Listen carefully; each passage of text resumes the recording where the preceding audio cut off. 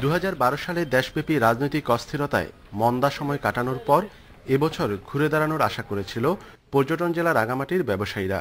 November December মাসে মৌসুমের শুরুতে অনেকটা আশা জাগিয়েছে পর্যটন স্পটগুলোতে ভ্রমণ পিপাসুদের আনাগোনা।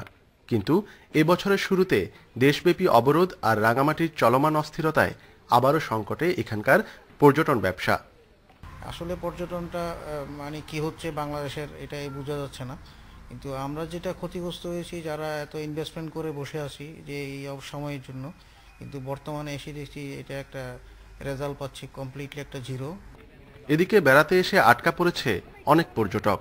আসার পর এই ঝামেলার মধ্যে পড়ার মধ্যে আমার খুব প্রবলেমের মধ্যে আছি। এখন যাইতে পারছি না এখন কোন দিন যাব তার তো ঠিক নাই। খুব অসুবিধার মধ্যে পড়ছিলাম হ্যাঁ রাস্তায়।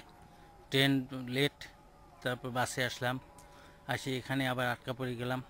পর্যটন কর্পোরেশনের দেওয়া তথ্য মতে রাঙামাটি জেলায় এই খাত থেকে বছরে আয় হয় প্রায় পনেরো কোটি টাকা।